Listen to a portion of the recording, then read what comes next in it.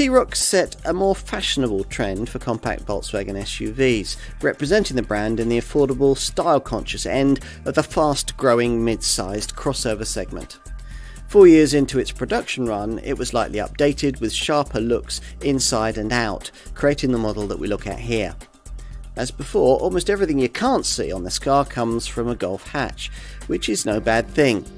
As for the stuff you'll admire in the driveway, well, it all looks satisfyingly fashionable.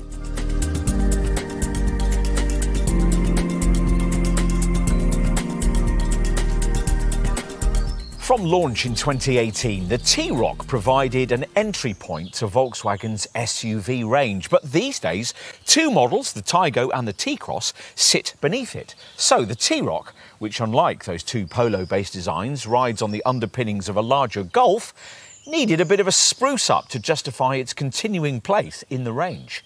Hence the mid-term facelift we examine here.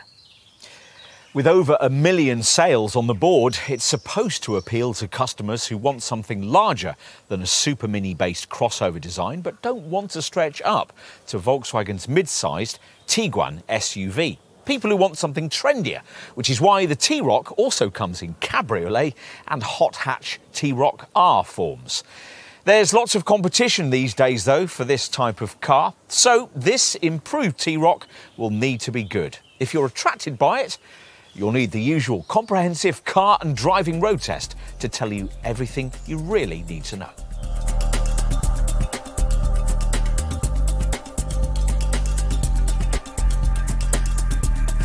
Volkswagen hasn't made any dynamic upgrades as part of this midterm T-Roc update. And not much is very different on the engine front either, mainly because the mild hybrid units from the Golf 8 won't work with the older version of the MQB platform in use here, nor will that car's available plug-in hybrid powertrain. At its original launch, the T-Roc was promoted as the SUV from the inventor of the GTI, a reference to the car's chassis development chief Karsten Schebsdat, whose credits include current versions of the playful Golf GTI Club Sport and Polo GTI models. If you like your driving, don't get your hopes up in that regard. This is a very different kind of car. There's not much fun to be had punting a mainstream T-Roc model about, and even less on offer if you should choose the alternative cabriolet version, which we cover in a separate film. Here, our comments are based on this conventional SUV body style. Seek out engagement at the wheel of one of these, and you'll find that plenty of grip and decent body control mark this out as one of the more adept small crossovers you could choose. Plus, there's quick reacting steering, which can be further improved by adding Volkswagen's progressive system that reduces the amount of lock you have to apply through tight turns. Driving modes don't feature as standard on mainstream models, and ride quality isn't quite as good as in a Polo or a Golf, inevitably given the extra weight and higher stance, but again, it's a decent showing by class standards. As before, there are four TSI petrol engines. Almost all T-Roc folk choose between the first two of them. A 115 PS 1 litre 3-cylinder unit, only offered with a 6-speed manual transmission, or a 150 PS 4-cylinder power plant which can offer the additional alternative of a 7-speed DSG Auto. Stick with the former if you're mainly urban based, but factor in the latter if you do the occasional longer trip. Or in that event, consider a diesel, the sort of thing that rivals increasingly decline to offer in this sector, but which Volkswagen is still very much wedded to thanks to its now cleaner levels of TDI technology. This has to be entirely 2 litre based these days, so the previous 1.6 litre TDI unit makes way for a detuned 2 litre TDI unit with the same 115 PS output, which has to be mated with manual transmission. As before, there's also a top 150 PS 2 litre TDI model, and if you want this with a DSG Auto gearbox, you'll be offered the option of having it with Volkswagen's 4Motion four wheel drive system. Four wheel drive, by the way, is another thing surprisingly hard to find in this segment. Petrol models with the 4Motion system are super rare because there the all-wheel drive system can only be mated with the thirstier 2-litre TSI unit which has to be had with the DSG Auto. That 2-litre TSI engine is offered in 190 PS form in the mainstream range or with 300 PS in the T-Roc R performance model re-engineered for the extra power. That top R variant features a stiffer aluminium subframe, 20% firmer springs, a 20mm drop in ride height, uprated brakes, shorter gear ratios, and the option of DCC adaptive damping. We've a separate test film on the T-Roc R if you're interested in that. None of this will be of much interest to the typical T-Roc buyer, someone who won't need a powerful engine or four-wheel drive. Of more importance for these people will be attributes like this Volkswagen's easy urban manoeuvrability. There's an 11.1 metre turning circle, and when parking, it's easy to judge where all four corners of the car are. Plus, there's a slick six speed manual gearbox, reassuring brakes, and with all the engines, punchy mid range acceleration. Refinement's impressive too, provided that on the 1 litre model you don't mind the rather endearingly vigorous three cylinder soundtrack that's delivered under hard acceleration. In short, it's all rather Golf like, and for a car of this kind, that can only be a good thing.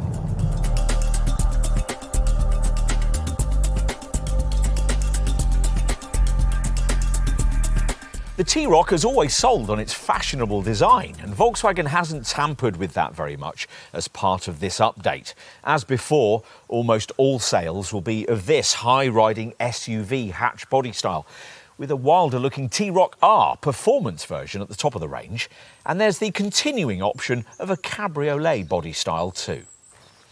In profile, the things that marked the T-Roc out before mark it out now. This elongated silhouette with a chrome frame stretching from the A pillars across the entire roof to the C pillars, plus a relatively low roofline, short overhangs, and a steeply raked C pillar above meaty looking rear haunches. Volkswagen talks of generous ground clearance and coupe like sidelines, but that's very much subjective. What's more pertinent is the size, a narrow niche that sees the 4,236mm length slotted carefully in amongst the brand's other compact SUVs. It's 126mm longer than the T-Cross, just 35mm shorter than a Taigo, and 273mm shorter than a Tiguan. Large wheel rims of between 16 and 17 inches make it seem a little bigger than it is, though, We've got 17 inch Johannesburg alloys here, and if you avoid base trim, you've the option of adding a contrasting colour to the roof too. Most of the visual changes to this updated model feature here at the front, where this revised grille is flanked by new LED headlamps that can, as here, feature Volkswagen's intelligent IQ light system that uses a matrix of 24 LEDs in each headlight module. Further down, these curious corner panels, framed by daytime running light strips, have been restyled, as has the bumper and the cooling ducts just below it. As before, the whole thing's underscored by a token lower silver skid plate panel to complete the crossover effect. At the rear, the tail lamps gain brighter LED illumination and darkened lenses, but otherwise things are much as before. Again, a lower silver skid plate finishes things off, and of course, as with all Volkswagen models of this size, everything sits upon a Golf-style MQB platform. OK, of more significance are the changes that lie within, so let's take a look. At its original launch in 2018, we found ourselves somewhat disappointed with this T-Roc's cabin. Trendy style touches didn't compensate for too many hard plastics and standards of materials quality that felt well below those of a comparably priced Golf. Now we find ourselves feeling slightly different. Yes, a Golf interior still feels nicer, but the gap has been closed by a general T Roc cabin upgrade that primarily adds this soft touch, foam cushioned dash top smarter door cards, and revised switchgear. And in a T Roc, you don't have to battle with the rather confusing futuristic screenfest that marks out the cabin of a Golf 8. You'll want to know what else is new. Well, this smarter steering wheel with its stitched supple leather and capacitive controls and this digital cockpit instrument display screen is now standard, supplied either in base 8 inch form or more usually in this larger, more sophisticated 10.25 inch Digital Cockpit Pro, guise. As usual, with this setup in Volkswagen Group models, there's a steering wheel view button to vary screen formats, which include full width mapping.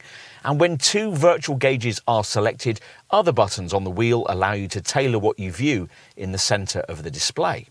The two outer gauges have customizable central sections with info you can change via a digital cockpit option on the central infotainment screen. This glass-fronted middle screen comes in a couple of sizes too, 8 inches as standard, either in base ready-to-discover guise, or as here, in nav-equipped Discover Media form. Or there's the more sophisticated 9.2-inch Discover Pro monitor, which gains extra features including intuitive voice control.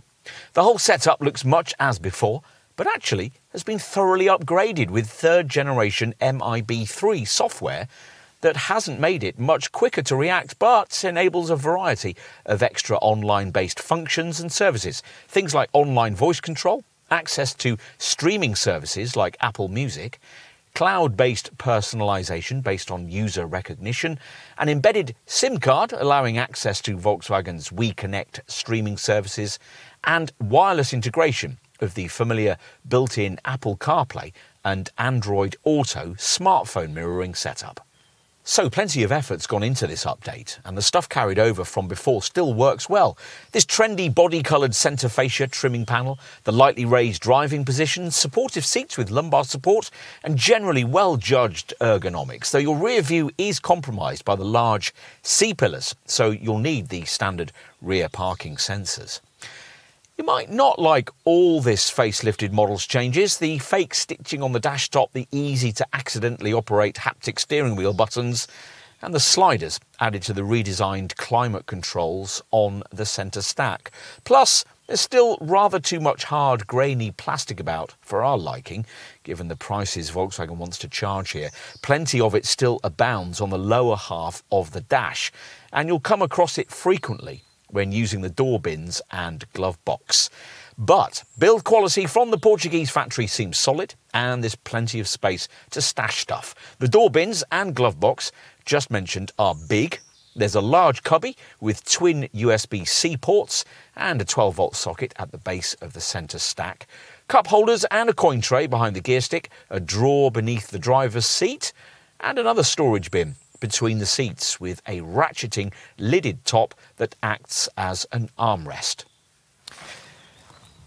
Time to take a seat in the back. Now, the doors open reasonably wide, and the T Roc has a slightly higher rear seating position than a Golf hatch, which makes access easier and will help you if you regularly have to take child seats or booster cushions in and out. Inside, the room on offer is fine by the standards of space in comparable small crossovers, though that's not saying a great deal. The bench doesn't slide or do anything clever like it does in a larger VW Tiguan or in a direct class rival like the similarly sized Renault Captur. But despite the coupe like rear styling, there's okay headroom, providing you haven't spent extra on the available panoramic roof. A couple of six foot passengers can just about sit behind a couple of equally lanky front seat occupants with some degree of comfort, but if there's a middle occupant, then they will need to sit legs astride this central transmission tunnel. But the doors are big, there are seat back pockets, you get an armrest with twin cup holders, and these twin USB C ports are provided below the centre vents. Finally, let's take a look out back. Now, boot capacity varies a little depending on the drive layout you've chosen, rated at 445 litres for a front-driven model like this one, which is 17% more than a Golf, or 392 litres in a 4Motion equipped four-wheel drive variant. It's a lot less in the cabriolet version, of course, just 280 litres there. The cargo area is a good square shape. Seven carry-on suitcases will fit in this front-driven version. And there are the usual tie-down points and bag hooks, plus lots of space beneath the floor, though only because, unfortunately, Volkswagen declines to provide any sort of spare wheel. At least that enables you to properly use the standard adjustable height boot floor and put loads of stuff beneath it. There's also a ski hatch for longer items and push forward the 60-40 split backrest and 1,042 litres of space can be freed up.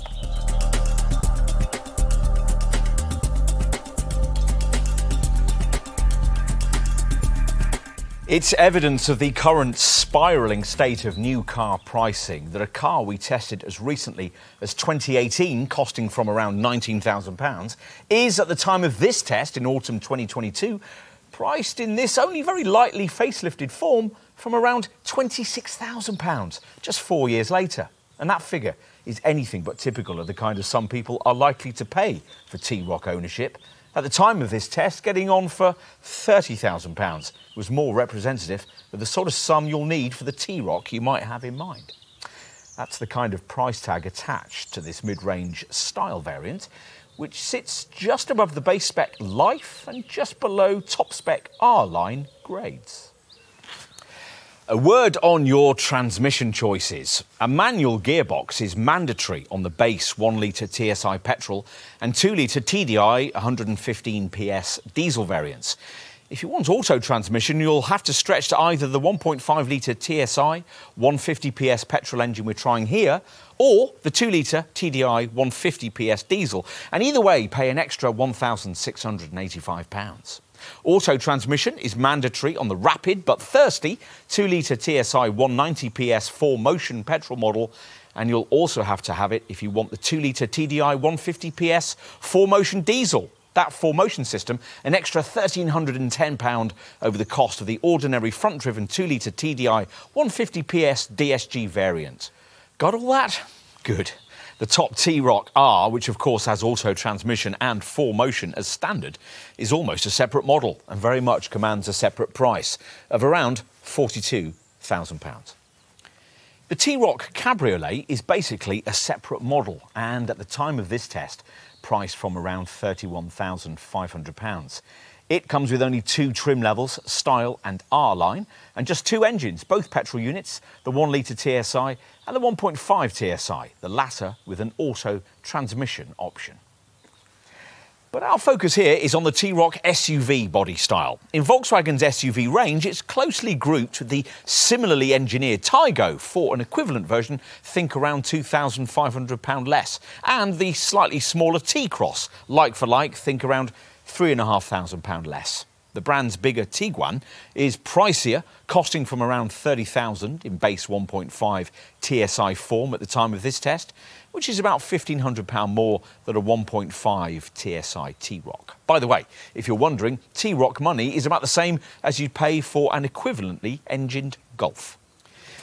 There are, of course, lots of rivals from other brands competing in the same market space, by which we mean just above smaller SUVs like the Ford Puma and the Nissan Juke. They're targeted by the Volkswagen T-Cross. And just below mid-sized family SUVs like, say, a Ford Kuga or a Peugeot 3008. They're targeted by the VW Tiguan. You might think that leaves a bit of a slim niche, but nevertheless, it's big enough to split into two parts. One is for conventional looking SUV models like Nissan's Qashqai, or the two VW Group contenders which share this T-Roc's engineering, Skoda's Karoq and Seat's Ateca.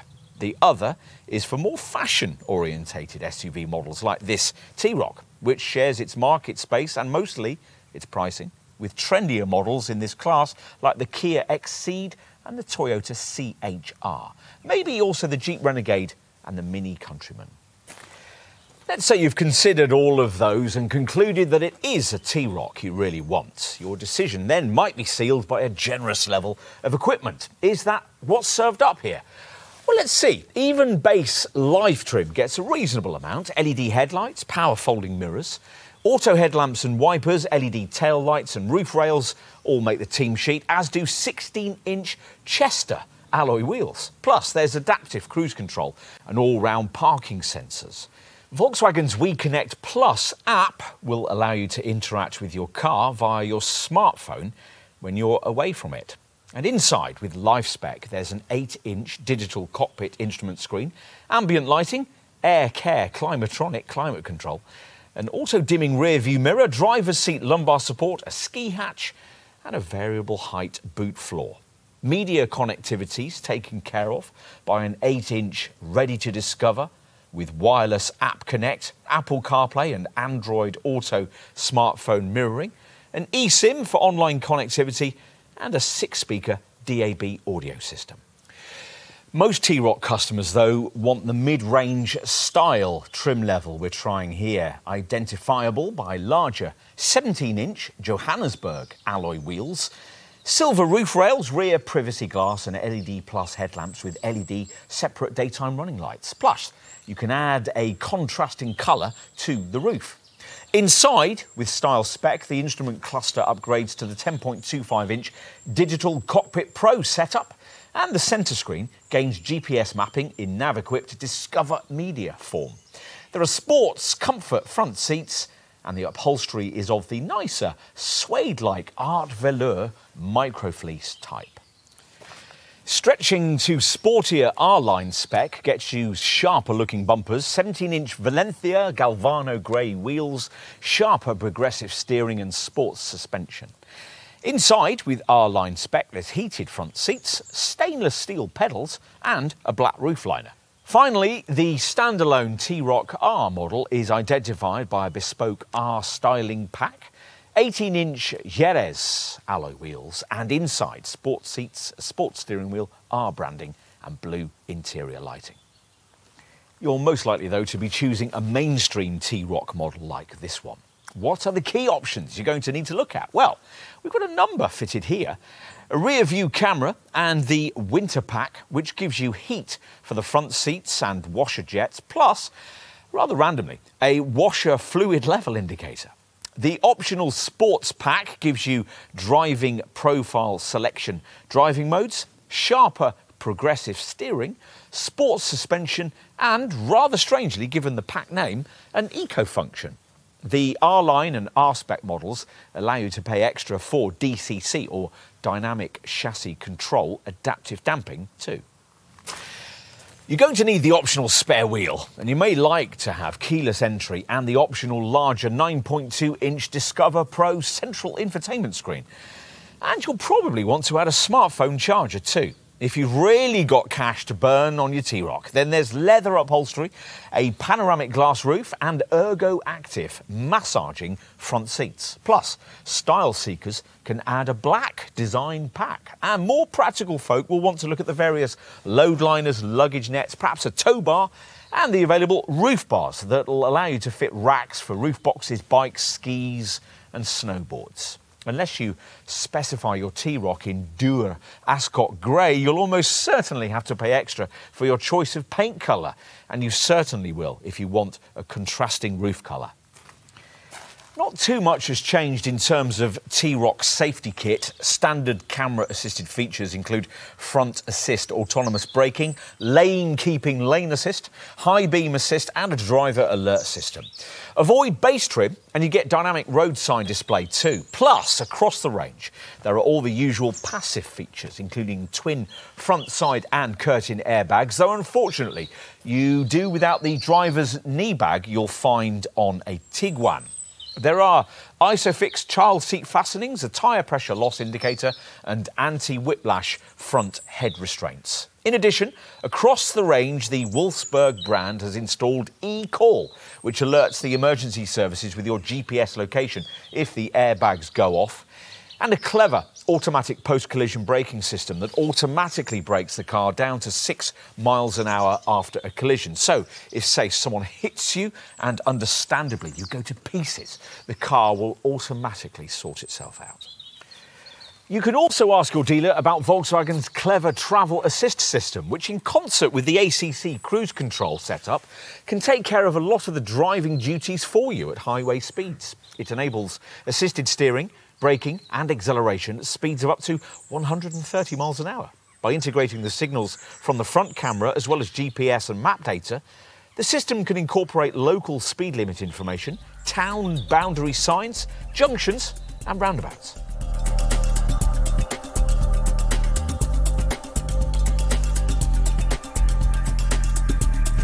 Okay, let's assume you're among the growing number of buyers switching into a fashionable little SUV like this one from a conventional family hatch. So, in this case, you're moving from a Golf into this T-Roc.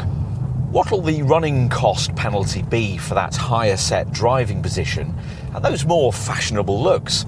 Well, to answer that, let's consider what's predicted to be the best selling T-Roc engine, the 1 litre TSI 3 cylinder petrol unit.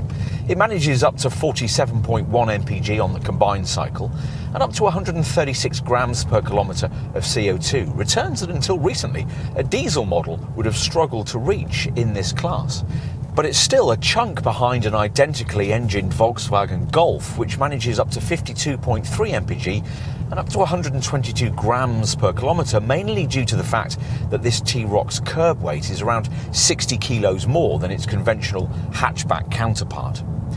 You may well decide you could live with that, and if you can, you might very well also decide to upgrade yourself to the 150 PS 1.5 TSI petrol model we're trying here because its fuel and CO2 returns are virtually no different. That's thanks to a cylinder on demand system that cuts off two of the engine's four cylinders under light to medium throttle loads. As for the TDI diesels, well, if you opt for the base front driven 115 PS variant, it should be possible to get up to 60.1 mpg and up to 122 grams per kilometre of CO2. For the gutsier 150 PS 2 litre TDI variant, it's 58.9 mpg and 125 grams per kilometre. All these, by the way, are manual model figures, but there's very little efficiency downside in opting for the alternative 7 speed DSG automatic. A DSG Auto in a T-Roc 2 litre TDI 150 PS model, fitted out with VW's heavy 4Motion all-wheel drive system though, is a slightly different kettle of fish. One of those can only manage up to 51.4 mpg and up to 145 grams per kilometre of CO2.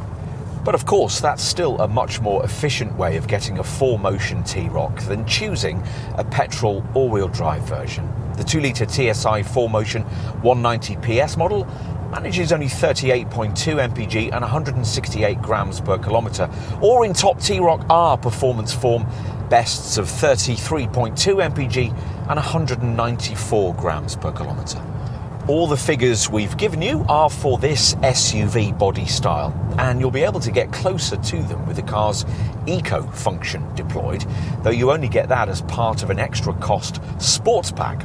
The considerable extra weight that the Cabriolet model has to carry about dents things a bit here. As we mentioned earlier, we've covered that variant off for you in a separate film. For this SUV version, insurance ratings start at Group 15E for the 1 litre TSI, or from Group 21E for this 1.5 litre TSI variant. The 2 litre TDI 115 PS diesel variant rates from Group 18E. The 2 litre TDI 150 PS model rates from Group 22E. At the top of the range, the 2 litre TSI 4Motion rates from Group 26E, and the T-Roc R is rated at Group 33E. As for servicing, well, as usual with Volkswagen models, there's a choice of either fixed or flexible maintenance packages. You'll choose the fixed approach if you cover less than 10,000 miles a year, and with this, the car will typically be looked at every 12 months. If your daily commute is more than 25 miles and your T-Roc will regularly be driven on longer distance journeys, you'll be able to work with a flexible regime that can see you travelling up to 18,000 miles between garage visits or every two years, whichever is sooner. And warranties? Well, the standard package is three years and 60,000 miles.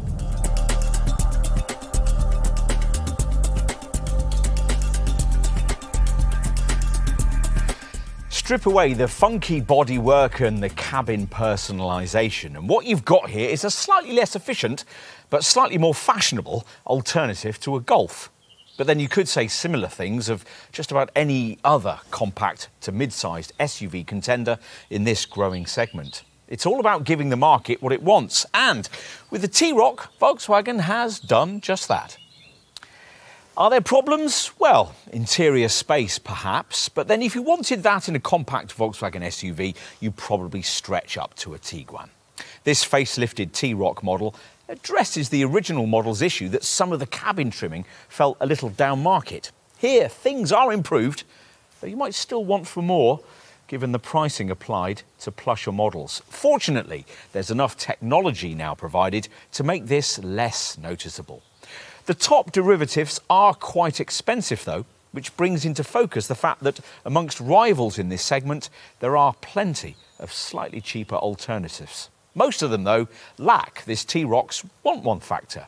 And the way this part of the market is these days, that'll probably be very significant in keeping this as Volkswagen's third best selling model.